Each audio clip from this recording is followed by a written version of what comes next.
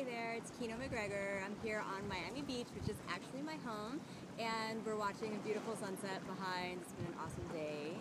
So many people are working on Pincha Mayurasana, which is an awesome strength building posture in the Ashtanga Yoga method. So sometimes you want to learn to go up with both legs at the same time rather than just kick up with one leg. If you're new to Pincha Mayurasana, definitely check out my other video on lifting up with one leg at a time. But sometimes you can't do it with straight legs, you need to do it with um, your knees bent. So I'm going to show you that. I'll show you first close up so you can see what's going on with the shoulders and I'll move back so you can get a full view, all right? So here's a way to do it with bent knees, all right? So you can come on to find your balance onto the shoulders, so the shoulders are nice and strong, and then you lean forward into your deltoids, bringing your knees into your chest, and you just pivot the pelvis forward and come into a nice balance.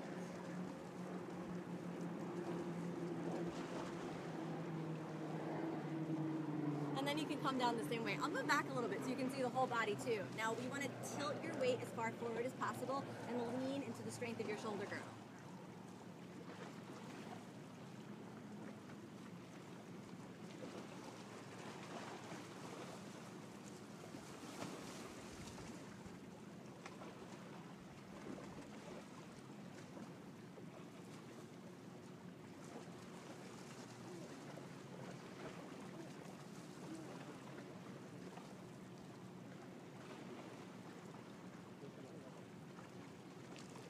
That I did was kind of go up and down, and you would only really want to do that if you're really working on strengthening the posture. It's not for everyone. Um, more importantly, you can just balance and hold and really feel the core of the movement. Now, the journey in yoga is a spiritual journey, so every strength posture that you do is really about the inner journey. It's not just about achieving a cool handstand or cool arm balance, it's about letting the posture transform you. And inner strength will teach you inner peace as well, because you'll be strong enough to stay through difficult places in through uncertainty all the way to peace and joy.